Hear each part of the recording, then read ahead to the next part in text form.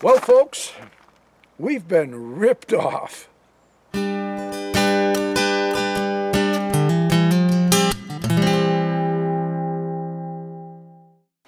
So get this, folks. I haven't needed my truck in a while, so I've had it parked down on my other lot. It's been down there about six weeks, I guess. And it was parked down there both winters of 2017 and 2018, and I never had any issues. So I decided I'm going to go down there and start the truck. I want to take the plow off of it and bring it up here to the mountain. Just have it up here. I turn the key, it fires up, and it's extremely loud. I'm like, what the heck? How could something come disconnected just by sitting here? I'll tell you how. With a sawzall. I couldn't I, I, I, couldn't believe it. I, I climb under the truck to see what happened. There's a section of my exhaust pipe about this long that's been cut away and somebody stole my catalytic converter. Somebody actually had the audacity to go under my truck and cut part of my exhaust system and take it. I, I, will never, ever, ever understand that mentality. When somebody just feels that they're entitled to what other people have worked hard for, I'll never wrap my freaking mind around it. I'll never understand it. You know, I couldn't believe it. So, you know, I'm, I'm insured. it won't cost me a fortune to fix it, hopefully. But it's a huge inconvenience and it's very unsettling because now now I, I feel like I got to worry about all of my stuff. You know? When I lived in New York, we had constant problems right from the get-go. Problems for all, from everyone. People would uh, cut my fences and trash my gates and snowmobile and ATV all over my land. Didn't care what they were destroying. You know, you couldn't stay on a trail. You had to go and cut fences and steal my stuff and vandalize my stuff. And I got sick of that and I, I moved out and I came back here. And since we've been here, I haven't had any issue. The only, the only issue I had was last winter. I had this green Jeep here parked down at the bottom of the road. Uh, it was there for about three weeks and it just sat down there because the snowmobiling conditions my road is a snowmobile trail in the winter. And when the conditions are good and there's a lot of sleds using the trail, I keep my vehicles off of it. And out of respect for the trail riders, you know. So um, my Jeep, I just was sitting down there. It wasn't going up and down. It was just sitting down there for about three weeks. And I, I go and gonna take it up the mountain one day, and I've got BB holes shot through my windshield. now, I can't say for sure, but I know that in that three week period of time where we weren't driving the road, that somebody went up over the mountain in a four wheel drive and rutted everything up. And of course, people blame us for it because we are the only residents up here. The, tr the tire tracks went all the way past the, the mountain and over the mountain and into the next town. They didn't come here, but nonetheless, we probably got blamed for it. And it was probably some snowmobiler going, I'm going to teach you a lesson for driving on the trail and shot holes in my windshield. But like, again, I can't say for sure, and that's nothing more than my assumption. But why else would somebody just shoot my windshield, right? So, uh, anyway. Yeah, so now I'm going to go out in the woods and I'm going to pull all of my trail cameras, and I'm going to have to keep trail cameras on watching all of my stuff. It's very, very disheartening, you know. I always say what comes around goes around, and every act you take is setting up your own karma, and this kind of crap will come back to that guy, and he probably gets his issue of crap because this is the stuff that he dishes out, so he gets more of it in return, and then he just keeps dishing it out. And that's how the whole system works. It really does.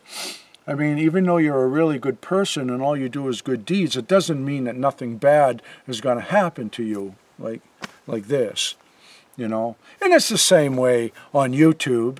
I, I work uh, very hard on putting out good original content. Like this last video, even this last video about refrigeration, didn't, doesn't matter if you have no interest in living off the grid. The information in there could help you keep, you know, preserve some food for a while, extend the shelf life of it anyway. If there was a major power outage, give some people some ideas that help them along the way. And yet I still got bashed on that, you know. I mean, and picking at me for whatever reason they could, you know. And it's the same way with that rocket stove video. You know, I made that rocket stove video. It was my own original design, and I put it out there.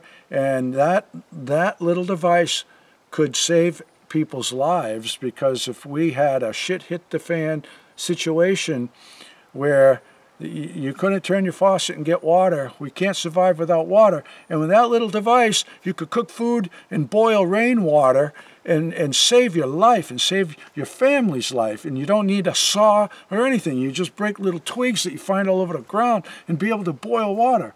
But yet, doesn't matter. Doesn't matter. Just in, in the inbox every single day is more flak attacks. It's disheartening when you, you know, you, you think about it and you go, you mean, hasn't the human race even evolved at all? We're still like cavemen, you know? You see somebody with a chunk of meat, so you go hit them over the head with a club so you can take their chunk of meat. But in this case, they go under my truck with a sawzall and steal my catalytic converter. yeah, so I got to go get my trail cams, man. Now it's a different game. Even living up here on the mountain, you can't escape the crap. So I'm heading out this morning just to round up all of my trail cameras.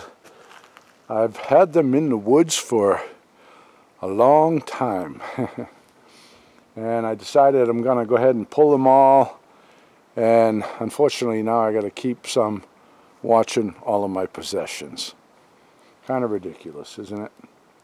But anyway, I decided to do this this morning pretty tough going. Like right now I'm walking and the snow is gone for the most part and that's easy going.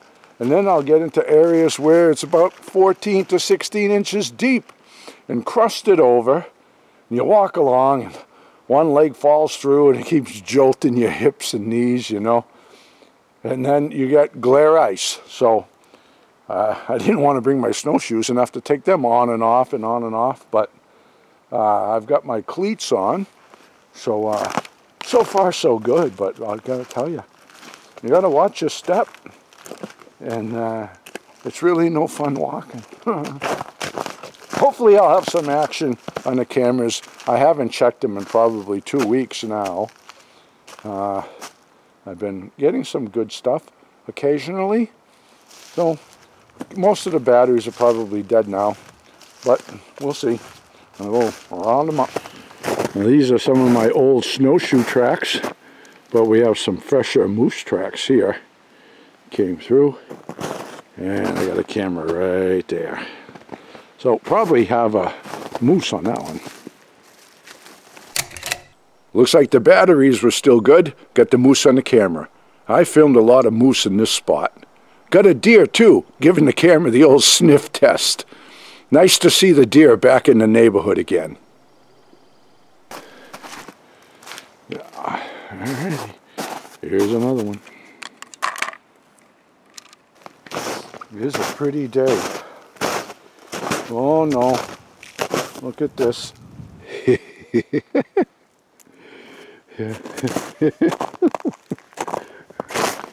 they go with the milk duds again.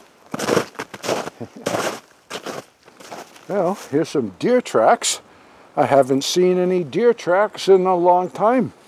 Now, the deer go someplace to yard up. They leave the mountain. Where they go to, I don't know. Because we trek all over the place and rarely see a deer track in the winter. Be one here or there. And here's some here. It walked over here, walked right here, and the camera's right there. So if the batteries are still good, we should have this deer on the camera. I could see from the tracks that a deer came right up close to the camera, but this camera makes a faint sound when it's filming. It spooked the deer and he backed right out of it. My second camera picked up these two deer at the same location. I got a moose there too, but they are always a familiar sight at this spot. And a snowshoe hare. Now that's a critter that's been named appropriately. Those big feet keep them from sinking in the snow, and they can run across the top of fresh powder. You see what I mean? well, I've come down out of the high country, got all those cameras. I'm down in the valley now. Uh, got some beaver activity here. I've been following this beaver um, since early winter. I'll show you what he's got going on. You can see he's been really busy. He's building a little bit of a dam here. He's got the start of a lodge right here. Although I wonder with the rise in water now from the runoff of the spring, if he's even got any space to live in there. I don't know. I've got a camera here, and I've got another camera right here. And I had a whole bunch more, but I pulled those. So I'm gonna yank these up, and maybe we get some beaver activity.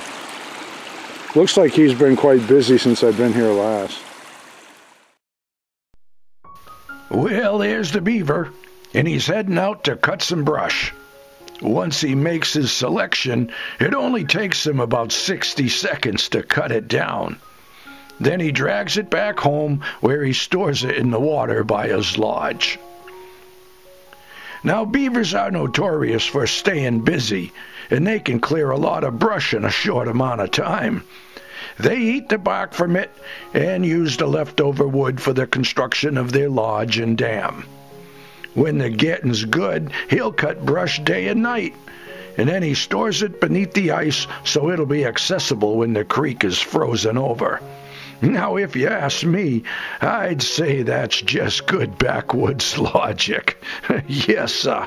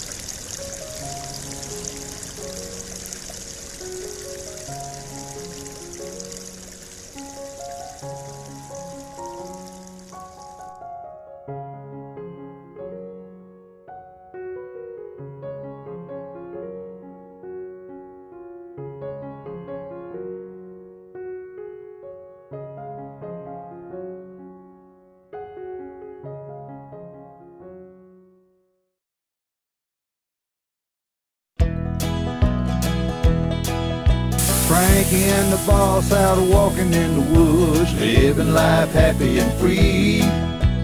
Tracks in the snow everywhere they go. There's a pokey way up in that tree.